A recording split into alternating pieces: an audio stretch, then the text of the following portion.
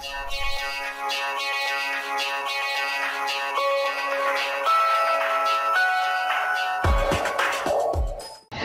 মেরে Australia high commission উড়িয়ে দেওয়ার হুমকি। পাঁচ লাখ টাকা চাঁদা দাবি করে একটি অজ্ঞাত ইমেইল বার্তায় ঢাকাস্থ অস্ট্রেলিয়ার হাই কমিশন বোমা মেরে উড়িয়ে দেওয়ার হুমকি দেওয়া হয়েছে। মঙ্গলবার সকালে গুলশান দুইয়ে অবস্থিত হাই কমিশনে ওই ইমেল বার্তা পাঠানো হয়।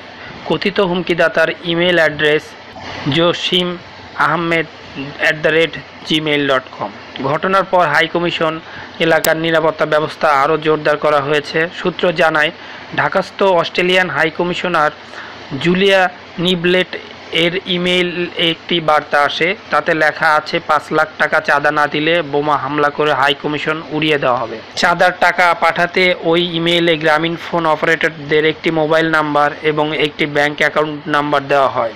এবং জনতা ব্যাংক, গুলশান শাখার অ্যাকাউন্ট নাম্বারও দেওয়া হয়। এ বিষয়ে অস্ট্রেলিয়ান হাই কমিশনের পক্ষ থেকে গুলশান থানায় একটি সাধারণ ডায়েরি করার প্রস্তুতি চলছে।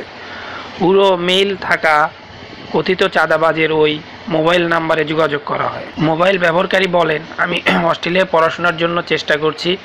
এটা কে করেছে, কেন করেছে আমার জানা নেই।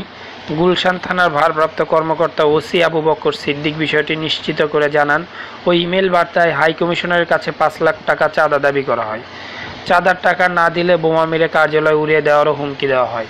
তিনি জানান, হাই কমিশন কার্যালয়ে আগে থেকে অতিরিক্ত নিরাপত্তায় পুলিশ মোতায়েন রয়েছে। ইমেল বার্তার পর নিরাপত্তা আরও জোরদার করা হয়েছে।